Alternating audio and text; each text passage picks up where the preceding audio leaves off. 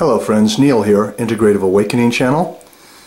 I just thought I'd start this video off with this absolutely exquisite painting of white Tara from this thangka that I have hanging in my bedroom rather than going immediately in to the more boring subject of the electromagnetic field pollution that we're exposed to from having our bed too close to the wall.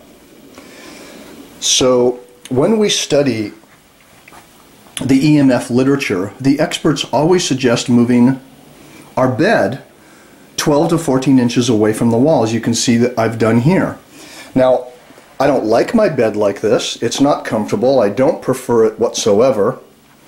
As we all know, boogeymen can come up from between the wall and the bed when it's this far away. And none of us want that to happen. But there's a reason why the experts tell us to move our beds away from the wall. Now, when we look at this wall, it doesn't look very dangerous, does it? It just looks like sheetrock or plaster painted over, and there's no outlets or anything here. However, let's use a professional tool. And what this is, is a Gigahertz Solutions ME3840B meter which measures electric and magnetic fields. Right now I have it set to electric and as you can tell there's a little mark here next to the E and right where my head would be on this pillow it's measure it's measuring 14 volts per meter. And here's where I keep my little notes on the meter. Notice that 10 to 20 volts per meter is highly precautionary and we should sleep in less than 5 volts per meter. And again, looks like the readings here are about 30 volts per meter. Now watch what happens when I go closer to the wall.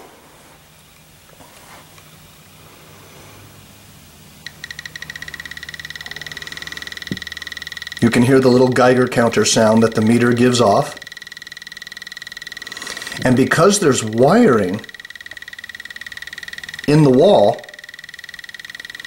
and these wires are giving off electric fields, you can see that the meter is measuring about 120 volts per meter.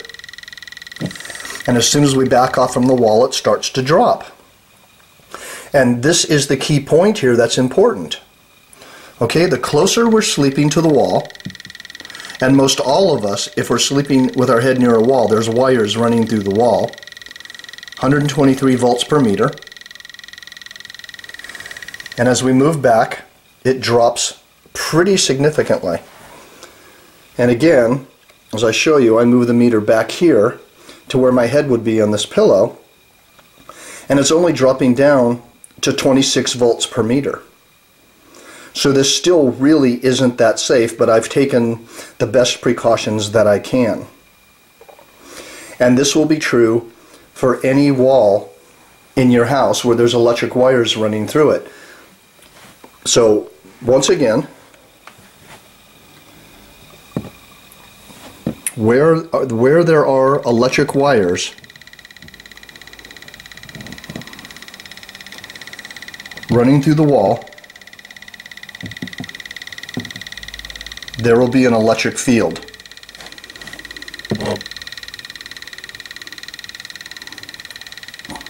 And you can trace the wires using a meter like this You can see just about where they are by how high the reading is. So once again, best thing is move your bed 12 to 14 inches away from the wall, or better yet, have your bed in the middle of the room, or at least just be aware and be conscious of the fact that walls are emanating electrical fields. And once again, it's suggested to sleep in less than 5 volts per meter. Many of us don't have a meter like this to measure it. So we'll have to just understand that moving a bed away from the wall is the best thing we can do. Here's another bedroom in the house. And as you can see, this bed's not moved away from the wall. Alright, the meter is about oh, 12 inches from the wall on the other side of the headboard.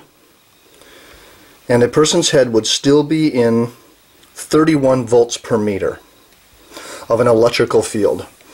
As I move this closer to the wall, the electrical wiring in the wall is measuring again about 130, 125 volts per meter. And as we move it away from the wall, it starts to drop down. Now I'll show you something else. Here at the foot of the bed, you can tell I didn't make a professional video by trying to make the bed look good. Now here at the foot of the bed, alright, we're all the way down here, and the meter drops to 3, 4 volts per meter. So the electrical field drops way down. So by showing you this, you can make your own decisions about where to place your bed in your room and where to place your head.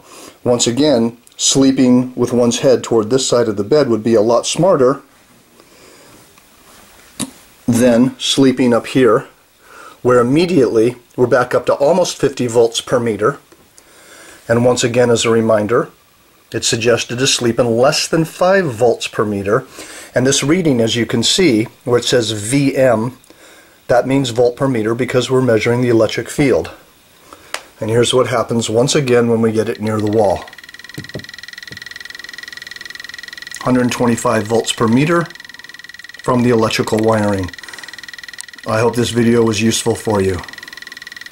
Thank you.